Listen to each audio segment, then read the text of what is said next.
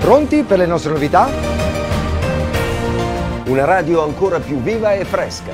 Il sito radiogold.it con tante rubriche nuove e la consueta attenzione alle news. E senza dimenticare i social e la web tv con tante nuove idee. Siamo sempre con voi e ancora di più dal 24 settembre.